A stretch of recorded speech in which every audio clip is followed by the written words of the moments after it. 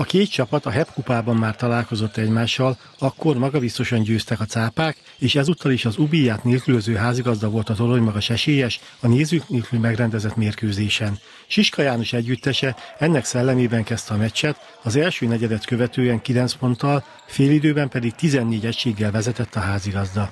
Fordulás után még egyet emeltek a fordulatszámon búsék, és ezzel el is döntötték a mérkőzést. A záró 10 percben valamennyi játékosának lehetőséget adott mindkét edző, és végül a 100 pont is összejött a 100%-os méregüket megőző nyíregyháziaknak.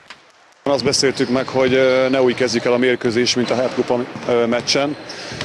Mindenképpen azt kértem, hogy agresszív védekezés legyen, ezt betartották a fiúk, és végigvezetve tudtunk nyerni. A kondíciónk elég jó, és gyakorlatilag felődjük az ellenfelet a harmadik negyedben, illetve ott már kezdjük váltogatni a védekezéseket, és ezzel bizonytalan tesszük a támadást az ellenfélnek, és szerintem ez a, ez a kulcsa.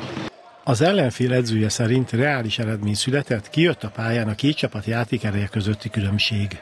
Szeretnénk volna egy jó mérkőzést játszani Nyíregyházán, ez majdnem össze is jött. Sajnos a Nyíregyháza mély kerete nyilván nem tudtunk velük versenyezni.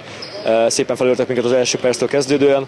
Az első negyedben tapasztalt 16 hazai büntető az nem gondolom, hogy arányos volt, de, de nyilván nem csak ezzel múlt, a játékban is felülmúltak minket. Amiről készültünk a héten, úgy érzem, nagy részt megcsináltuk. Sok olyan szituáció volt, amit nem, nem reagáltunk jól, illetve egy picit fáradtnak éreztem a csapatot, amit nem értek feltétlenül, de ezt leszámítva tetszett, amit csináltunk. A sérülés miatt több mérkőzés kihagyó Bazsó Bruno 13 pontot szerezve járult hozzá a cápák győzelméhez. Úgy gondolom, hogy nagyon jól felkészültünk a Miskolcra, tudtuk, hogy mik az erősségek, ezeket megpróbáltuk kivenni, és úgy gondolom, hogy ezt jól végre tudtuk hajtani. Aki bejött, azt tette a dolgát, mint gondolok itt az Ivára, ugye ő játszott most sokkal többet, mivel nem, kell, nem volt az Ubia, és ezért irányító poszton voltunk hiányban, de úgy gondolom, hogy ezt nagyon jól tudtuk pótolni.